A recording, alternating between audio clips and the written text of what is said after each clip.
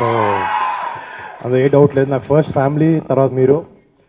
So అది మా పెద్ద మాకు నేర్పించింది. మీతో ఎలా ఉండాలని చెప్పి మీతో వచ్చి ఎప్పుడు కలుస్తూ ఉండాలని చెప్పే విషయం.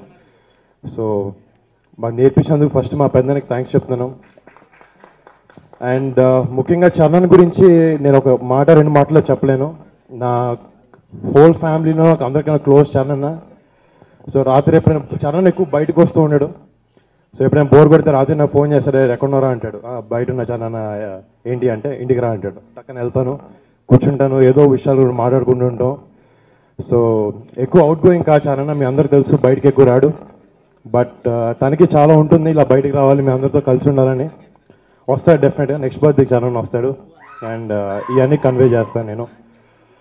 అండ్ హీస్ వెరీ హ్యాపీ ఇప్పుడు కొత్తగా సుకుమార్ గారి సినిమాలో ఆ లుక్ పెంచుతున్నాడు గడ్డం వేసుకుని. చాలా బాగున్నాడు. నేను లుక్స్ ఫోటోలు కూడా చూశాను. డెఫినెట్గా చరణన్న చేసే నెక్స్ట్ సినిమా మీ అందరిని అలరుస్తుంది. అందరినీ గర్వంగా ఉండేలా చేస్తుంది. డెఫినెట్లీ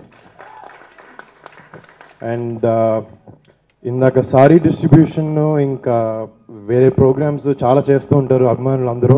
ప్రతి పుట్టినరోజు నాది దానికి కానీ తేజ్ దానికి కానీ అన్నదానికి కానీ. అలాంటి ఆలోచనలు నాకు అప్పుడప్పుడు రావు చేయాలనేది. సో మీ అందరికీ థ్యాంక్ యూ సో మచ్ ఇలా మంచి కార్యక్రమాలు చేసి మా అందరికీ వెన్నంటూ ఎప్పుడు సపోర్టివ్గా ఉన్నందుకు. So thank you one and all thank you so much love you all bye